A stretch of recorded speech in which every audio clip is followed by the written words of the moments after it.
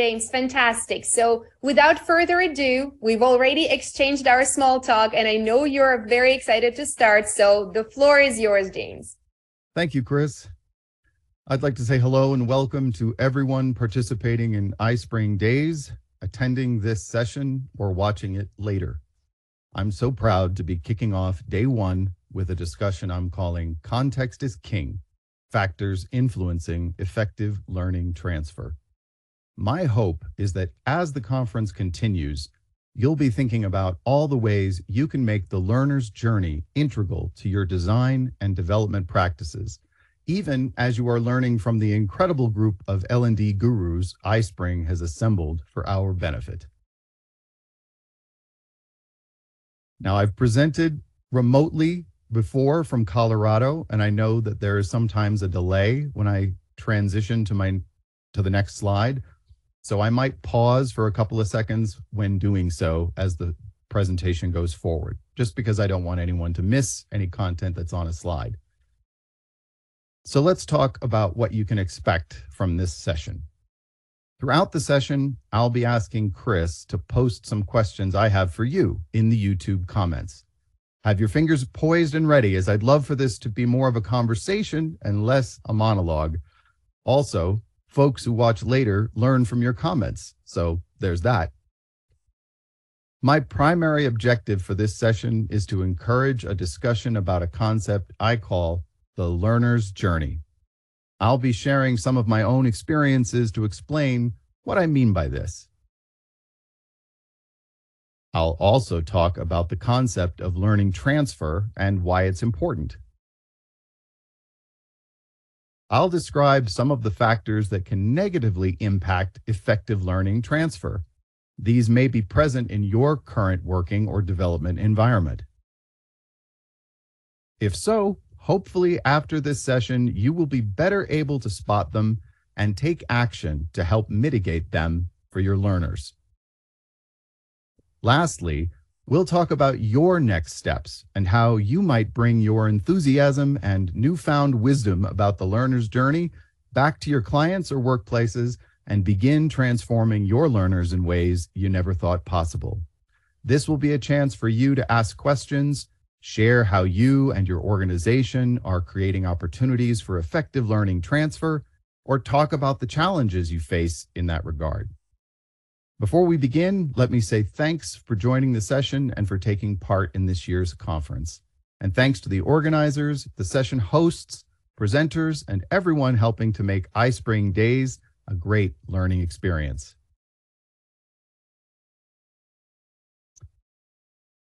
I won't spend too much time on who I am, but it may be useful to know a bit about my background because, after all, context is king.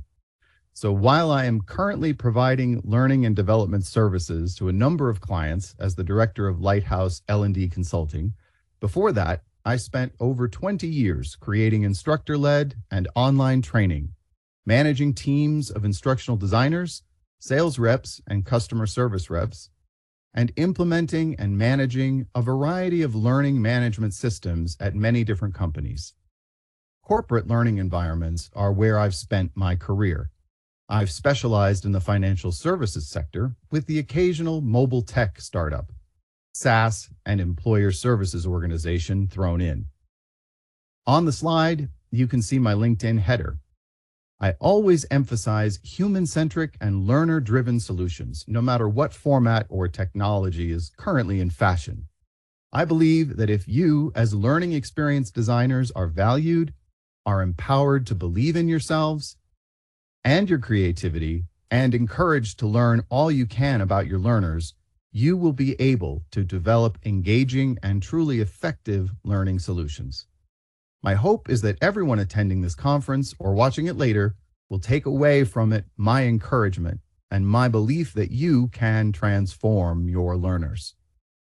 If you haven't done so already, use the QR code to connect with me on LinkedIn let me know if you'd like a sounding board for any aspect of any project you're working on. And to quote one of my favorite DevLearn conference slogans, together we are better. Module one is the learner's journey. once upon a time, I was an actor, living and working in New York City. Acting school taught me how to move people with my performances, reach them emotionally, and create compelling characters. What I didn't know was that years later, when I found myself working for a payroll company as their first official training manager, something I learned as an actor would help me begin to create more effective learning. I'm talking about the moment before. You see, to create and convincingly portray a character's persona, you need to understand how the character lived before entering a scene. They came from somewhere, experienced something, and that something is influencing how they behave in the present. And for this concept to translate, let's imagine that for our metaphorical purposes, that character is one of our learners.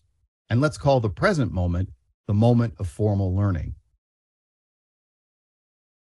Okay, you may be asking, but what do acting and the moment before have to do with creating effective learning, or the learner's journey for that matter?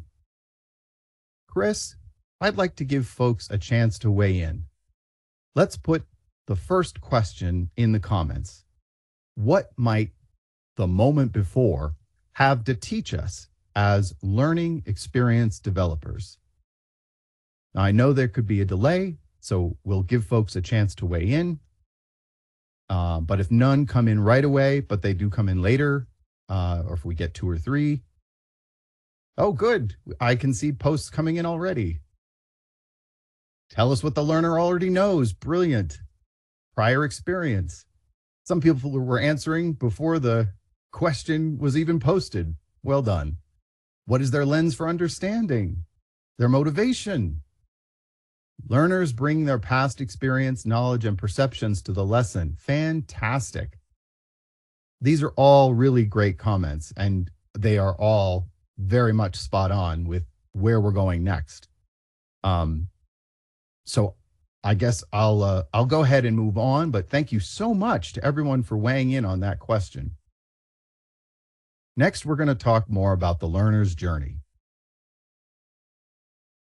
So, in case you hadn't guessed it, the learner's journey begins long before they encounter your learning solution. Then it intersects with the learning experience you've worked so hard to create at what is sometimes referred to as the moment of formal learning. It's easy to focus mostly on the point when our learner will experience our masterful in person training or our brilliant e learning course. After all, that's the part of the learner's journey that has to do with us, right? And many times we are tasked with conveying a great deal of information that is important and very engaging at that moment. So we have a lot on our minds. But our learners were living life and experiencing conditions on the job long before they encountered us.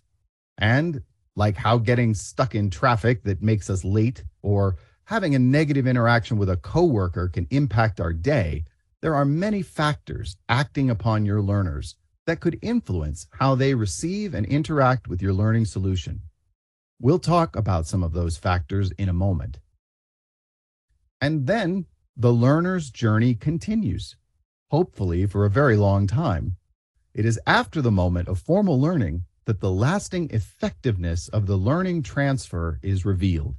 In the hours, days, weeks, and months following their encounter with your learning solution, their behavior and actions will either reflect the effectiveness of their learning experience or they will revert to the ways of the moment before negating the value of time spent either creating or taking the training. So, with that being said, how much time and attention should we pay to this idea of effective learning transfer?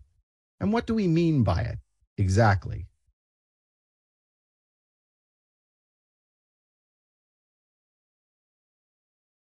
Module 2 talks about learning transfer. And I love this quote Begin at the beginning, the king said, very gravely, and go on till you come to the end, then stop. Paul Matthews quotes the King of Hearts from Alice in Wonderland to make the point in his excellent book, Learning Transfer at Work, that most training fails because it does not start at the beginning and does not keep going until the end. The phrase learning transfer gets bandied about in many different contexts. When I talk about it with clients, it's usually in the realm of how learning can affect desired behavioral changes for employees, which in turn lead to desired outcomes. Used in a corporate or organizational context, it usually refers to the uptake of learning by individuals exposed to a prior formal training moment, such as a training course or an e learning course. The application of learning is key so the term learning transfer means much more than just the transfer or movement of learning from one place to another.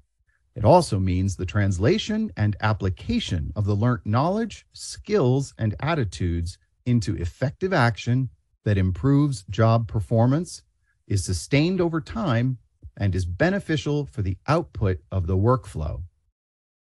One goal of training can be to make the learning gained from the training experience portable, so a learner takes it to new places where it can be used. If a learning experience does not achieve significant transfer and the subsequent application of the learning, how much can we say it's worth? Where is the measurable ROI? Speaking of ROI, I'd like to say for anyone who's not yet been asked to justify the existence of a learning team or even an entire learning department to a business owner asking you to show them the money, it can be the thing of which nightmares are made. Learning transfer that can be measured in terms of ongoing employee performance, reduced risk, increased efficiencies, and lower operating costs is the glass of cold water in the face that can wake you from that bad dream. Chris, I'd like to give folks a chance to weigh in on this topic. Can we put question number two in the YouTube comments? Our question is if learning transfer isn't being discussed regularly at your workplace, why might that be? And again, if questions come in, uh, don't come in directly, but they do later, feel free to let me know, Chris. Speaking of which, oh, okay. It, Very good. If we do have any comments coming, we do already actually. If Excellent. you can see now, um, if you don't, then I probably can read them out loud for you. You can pick a few. Of course, definitely, my pleasure. So, some people speak of fear of the results. The others uh, speak about time constraints and for example, Michelle, if I read correctly, uh, says that they assume that it's go it isn't going to happen. So feels like there are very diverse answers from timing to culture, from um, lack of importance given to training in the workspace to those requesting education not having enough knowledge about this learning. I love these answers, and it's telling me that this resonates with our audience. I'm really glad to hear that these are things that you've noticed and you've thought about and have some feelings about. Um, and they're and they're all valid. They're all perfectly valid, and we're going to talk more about them as we continue. Um, by the way, I wanted to let folks know that if if folks who don't have an answer to my questions that you want to share, but you'd just like to thank Chris for her help or comment on the session in general, don't be shy. We appreciate you. We're glad you're here. And I'm glad Chris is here helping us out. So thank you, Chris. So, next, we're going to talk about how important is learning transfer. So, while folks continue to think about if learning transfer is an important topic at their place of work or in their own L&D practice. Let's examine why it should be. On the last slide, I alluded to how circumstances at your place of business could easily change to one where every operating budget is being looked at as a possible place to reduce costs and possibly headcount. In the L&D economy, being able to demonstrate the effectiveness of your output can be crucial to your existence and equally importantly, to your value as a positive change maker. I've said it many times before that we are in an honorable profession, one that on a good day can really make a difference for individuals seeking to better themselves and for organizations looking to get ahead by achieving three highly desired outcomes employees performing at or above expectations, who are productive, and who contribute to a high octane culture. Be proud, I say, and demonstrate your effective learning transfer. A final thought about the importance of learning transfer. It underpins the whole notion of training, and yet too often we focus on the transmission of information from the trainer to the trainee or from the e learning to the learner, and then the retention of the information by that learner. We tend to overlook the primary purpose of organizational training an improved employee performance that can only happen when there is effective learning transfer. Let's talk about factors impacting learning transfer. So we've arrived at the heart of the matter, where the truth about the learner's journey, including how it relates to effective learning transfer and the role your learning solutions can play in contributing to the beneficial output of the learning workflow, gets revealed. The following factors will influence the amount of learning that gets transferred back to job performance. That is, they show that effective transfer that effective transfer doesn't solely depend on how good a training course was. It also depends on the importance given to learning and development by an organization and whether the right training need was identified for the right person in the right job. And I saw in the comments, and Chris reported from some of the comments that that resonated with some of you, right? In addition, how well the training course was designed to meet that need and how well the learners were prepared for the learning experience. Think about that. Being prepared for the learning experience the moment before. How well the trainers slash learning designers understood the learner's needs and how best to help them learn. And to what extent the learner was supported while trying to use the learning back at work. And that makes me think of the learner's journey as it continues, right? Well beyond the moment of formal learning. Notice how some of the factors are endemically linked to systemic circumstances. Systemic circumstances like a work culture may or may not support the development of solutions that deliver workflow based learning. I'll talk more about what that means in a moment. Other systemic circumstances that these factors highlight include the ability and willingness on the part of line managers to actively support learners with one on one coaching or learning transfer check ins after the moment of formal learning has ended. Another systemic circumstance that these factors reveal is a work environment that may resist the change represented by the learning. Employees who return to their roles with skills that represent new ways of working can face strong headwinds. Those assigned to perform tasks requiring a change in procedure or even work style due to the new behavior demonstrated by the newly trained may resent the extra work and subtly resist the learning integration.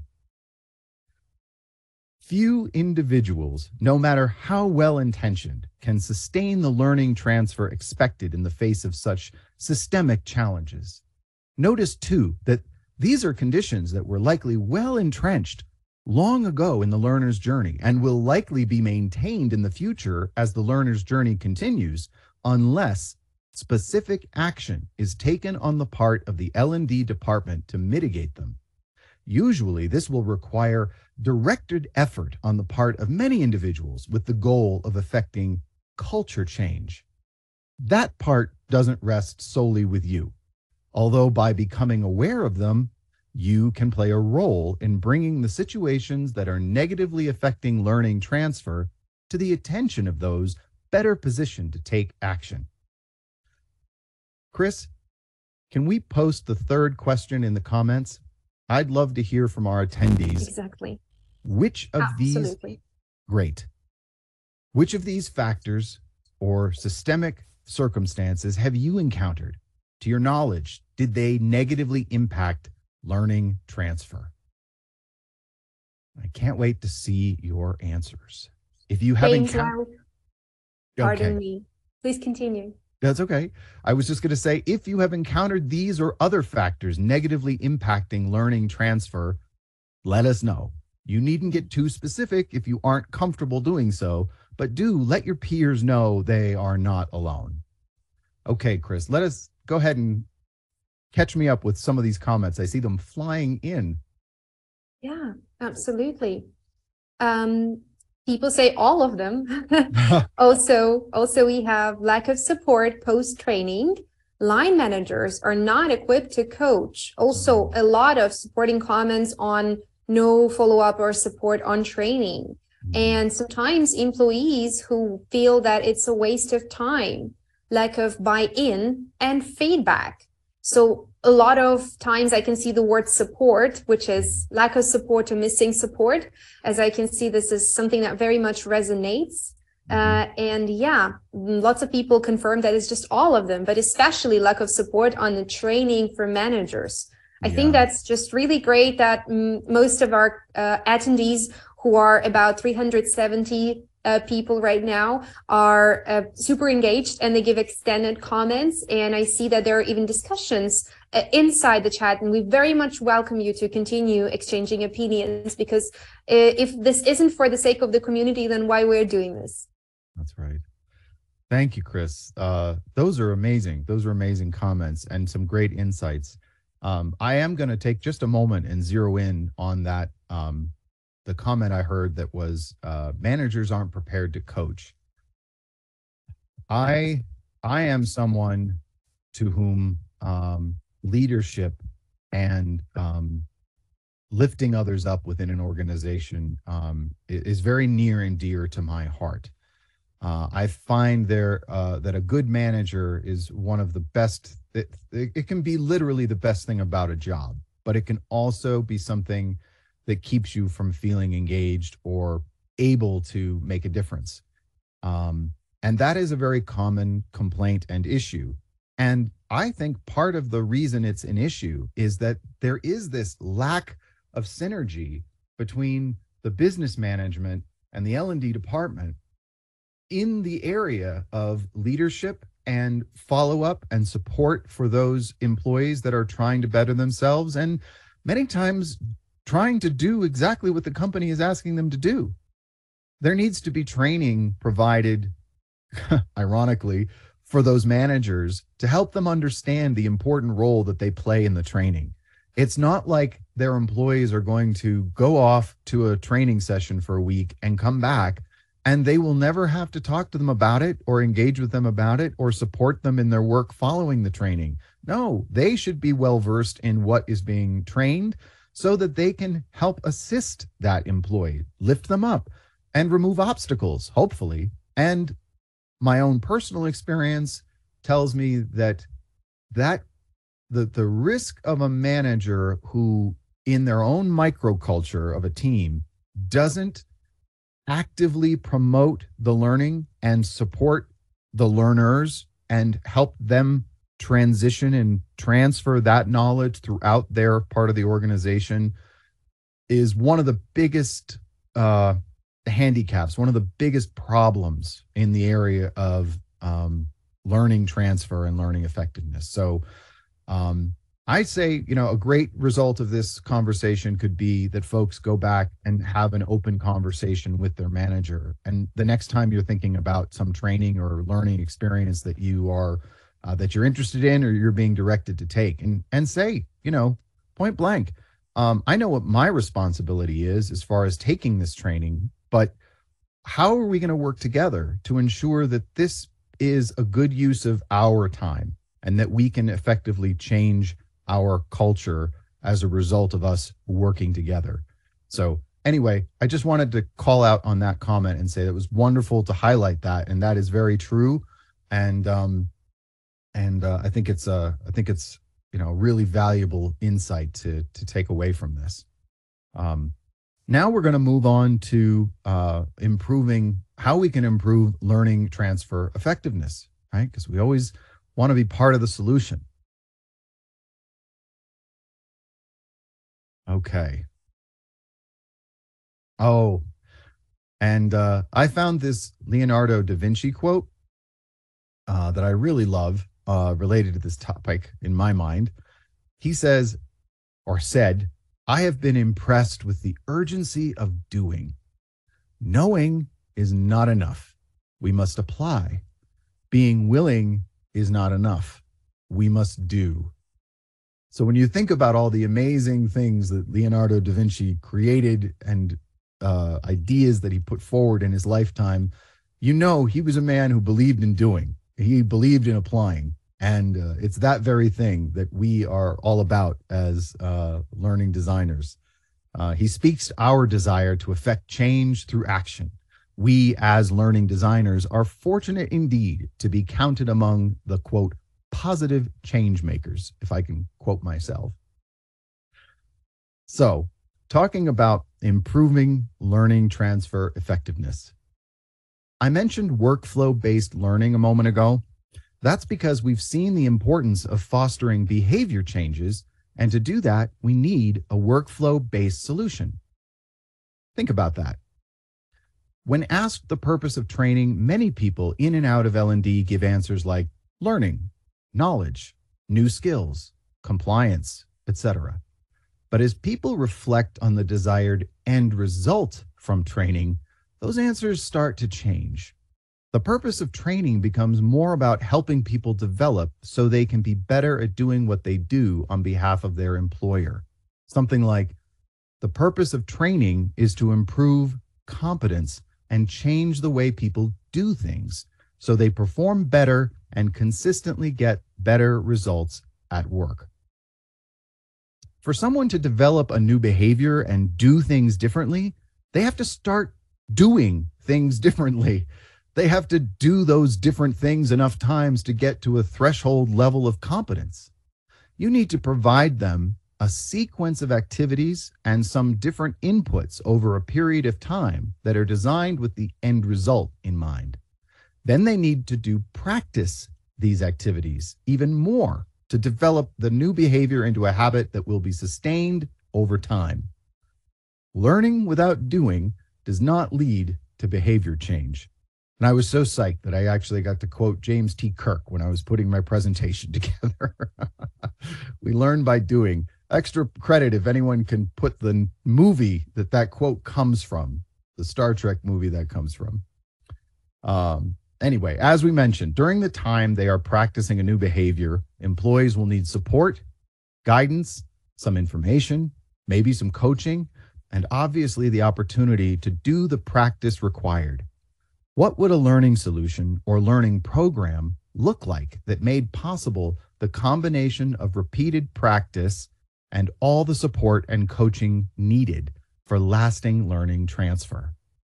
You can create such a workflow learning program if you set out to do so using blended approaches, action and activity driven learning based on an accurate and deep assessment of learner needs. If you notice your approach becoming too content driven, take a step back and remember the behavior change you are working towards. What else can we do? As with any workflow, if the inputs are inadequate, the learning transfer part of the workflow can never produce the desired results. This highlights the need to measure the inputs and outputs to ensure they are adequate. Measure the inputs in two categories those required at the nominal beginning of the workflow and those required to support each step of the workflow that feeds into the next measure the final outputs to ensure that you are getting the necessary returns for the process to be worth doing at all. The 70 20 10 rule suggests that individuals learn via three main ways on the job, via constructive feedback, and formal learning, each method carrying a different weightage. On the job or experiential learning typically accounts for 70% of learning transfer. Learning through feedback or social learning typically accounts for 20% of learning transfer. And formal learning from scripted courses or events typically accounts for 10% of learning transfer. Blows your mind. When designing to maximize learning transfer effectiveness, remember this rule and integrate holistically. It can be tempting to see a learning solution designed without learning transfer in mind and add a bit of learning transfer to it. Resist the temptation. Take advantage of the benefits of a fully integrated learning transfer focused workflow based solution. Push for it, even if you meet with apathy or resistance. Use your knowledge to help change your culture and your learners for the better. So, what's next? In the time we have left, I would like to open the session up for general comments and questions and maybe catch up with some of those questions or comments that have been flying into the YouTube comments. Uh, let me know what you think your next steps will be to begin transforming your learners. If you and your organization are creating opportunities for effective learning transfer, or you'd like to talk about the challenges you face in that regard, I'll do my best to offer what insight I can. Chris? Um, James, thank you so very much I've been so inspired and I was literally torn apart between listening to your content and observing the presentation. And at the same time, following the comments and the questions in the chat, there were so many. People were really expressing so much of a support to your ideas, especially when it came to this culture of learning, microculture of learning within the team and the management issue. So I think this was really something people could relate to. And thank you for leaving time for questions and answers. We have about 15 minutes for that. And I'd suggest that we start with some of the earlier questions we've received in the chat during your presentation, if you don't mind. Shall uh, we? Yes, that sounds great. Okay. So one of the first questions uh, that we have received was from Lena Mina, and she asks, a culture of low engagement and no feedback can result in courses not being graded or evaluated, which in turn means that necessary changes may not be identified or made. How to change it? Wow, yeah. So you are someone who is very attached to the learning outcome, right? Because you're doing the work, you're creating the solutions, and you're noticing that the results aren't all they should be. But what can you do? Because in most cases, we get tasked with, quote, solving a problem, but solving the problem is essentially creating the learning solution that's supposed to solve the problem, right? And so after you're done, you're you're supposed to be quote done, right? They want you to move on to something else. They have another problem they want you to solve with a learning solution, you know? Uh so how do you change that? Well, my my experience, uh, in my experience, I have found that um, it always starts with people. Um, and if you are passionate and you understand the business value of creating learning solutions that effectively change behavior and actually result in those things that I mentioned earlier in the presentation, like reduced risk, lower operating costs, improved efficiency, higher performance, right? You can start to make a pretty uh, powerful argument for why failing to follow up and do something to adapt the solutions you're creating now so that they do a better job in the future is important. It and you know important enough to, to throw money at you know because again you can always point to the time energy cost etc that it took to create the learning solution that's not doing a great job in the first place and say hey you know, next time you've got that kind of money you want to throw around, just give it to me, you know, or let's use it to create a solution that's going to actually do a better job at solving the solution and start integrating them into that workflow, right?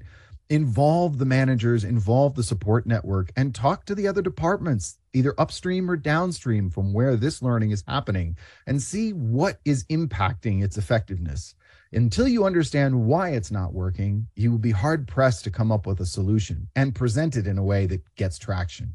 So I really hope that helps and that answers that question. And I really appreciate that detailed comment. answer and also i welcome everybody while we hear some questions uh, being discussed by myself and james i also appreciate if you guys can share your thoughts and opinions because again this is something that we can learn this is something where we can all learn from each other. So mm-hmm. if you don't mind james shall we proceed to one more question? Oh yes please. Okay. So it comes from heather brown asking again very much related to what we've heard in an earlier question but i think since it resonates we should proceed. Uh, what is a step you can take to get buy-in from leadership managers supervisors to the importance of L&D.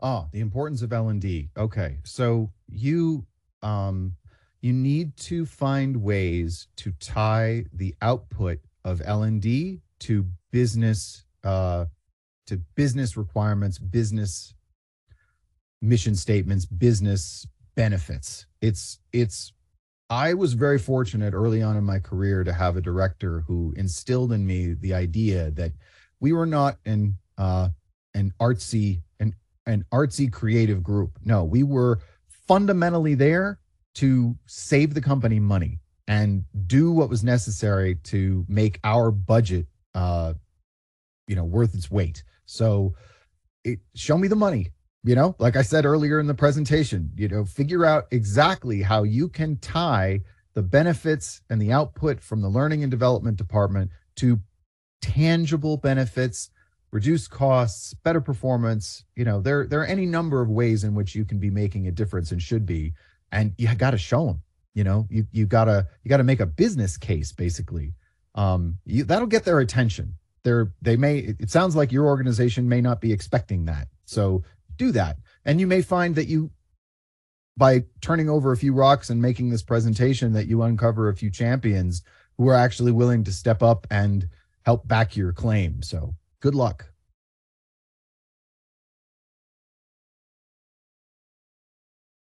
Worried about not having access to your slides and also not having a chance to share this beautiful presentation video recording with their colleagues. I'd just like to make a kind reminder that all the materials of the speakers the presentations together with the video recordings will be provided to you within a week after the end of the conference in your email. And for those who would like to share the presentation or the videos with their colleagues inside their organizations they're very welcome to still register in our website because the registration is still open. So once they do that, they will also receive all the materials and all the videos from our conference. James, we still have some time, some good time. Would you like to proceed with several more questions? I would love to. That's why Absolutely. I'm here. Yeah, exactly. So uh, Chad is asking, at the end of the journey, how do you measure the KPIs to determine that your training made a difference? Pretty broad question, but still, nevertheless, very, very important. Sure. Um, so the question about how to measure uh, reminds me of a resource that uh, Chris is going to be sharing, I believe. I, I, provided some links to some resources that are going to help people dive more deeply into uh, learning transfer effectiveness. Um, and one of those links is to a page that will talk about the LTEM method, learning, transfer, evaluation methodology. Um, this is not new, um, but I only learned about it myself, uh, you know, five or six years ago in my career. And I was, I found it remarkable in the practicality of this methodology. And you'll see that in the later five steps, five, six, seven, and eight, there are some great examples of how you can uh, set your learning up to be measured right? And it's important to remember that y- unless you determine before you begin the process what it is you intend to measure at the far end, you will have no way of making that argument showing the value add, the value proposition that your learning solution has brought to the table. So I would say, without knowing the specifics of your particular situation, um, do uh, take advantage or just Google LTEM uh, and and take a look at the, the, There's a free template, a down something you can download that's going to walk you through a lot of those measurable uh, measuring techniques. So I hope that helps. My fantastic colleagues, James, have already shared the link to LTEM. Oh, good. So yeah, our chat is already discussing it actually. Oh, okay. So technology makes it even faster for us. Yep. Isn't that amazing? Great. Great. So got one more exciting question for you, James, which again, I very much appreciate your questions, dear attendees. It's so great to see how you discuss and exchange your opinions, and please don't hesitate to ask. I think the learners community is exactly the community where asking questions shouldn't be something um, confusing or in any sense uncomfortable. So Larissa is asking, and I think this is something that can relate to many in the in the attendees among the attendees. What advice, James, would you give to someone trying to break into L&D from a traditional K-12 education role? Mm. Um, I get that I get that question a lot, Larissa, and thank you so much for asking. Um, I get that question from people that I'm connected with on LinkedIn. Um, there, in the past few years, I've noticed um, a great deal of activity around people transitioning, transitioning teachers, people trying to move into the business realm, where L and D uh, and that aspect of L and D. Um, so, one of the things about learning transfer, uh, I mentioned that it gets the term and the how it's defined gets bandied about in several different ways depending on your industry. Well, in if I'm not mistaken, in educational circles, um, learning transfer often relates just literally to that the transfer of the knowledge or information on the part of the teacher to the student you know which is kind of similar to that knowledge uh knowledge as the output right? The the acquisition and retention of knowledge as the v- perceived as the point of the of the learning that i mentioned earlier in the presentation. Um but in but in a corporate environment where as a member of a highly productive and a high performing learning and development team, um, you are uh, first of all you're working you have to show that you're able to work with others right? If you're an individual instructor or teacher um, you may be preparing all of your lesson plans you know yourself obviously and delivering that training you're, you, that's education yourself. Um, but as part of a learning and development department you're going to wear a lot of hats so you want to demonstrate when you're talking to somebody at for a job interview, for example, how many of your amazing variety of skills that I know teachers have can translate to things that are of value in a business setting. If you can, and I've seen some fabulous resumes on LinkedIn for people that are doing just that, people who are specifically calling out all the great things they do as teachers and sh- and drawing a direct line to how that would benefit a company uh, and I can't imagine that any of them are having trouble getting attention. So um, that's that's my answer. It's it's all about putting yourself. You know, you're used to putting yourself in the mind of the learner. Well, put yourself in the mind of the business and, and understand what their learning and development department is trying to accomplish, and figure out how to tell them that that's what you do. So I hope hopefully that's helpful. Uh, again, connect with me on LinkedIn, and uh, and there are a lot of resources on LinkedIn specifically around transitioning teachers. So, Larissa, I hope that helps.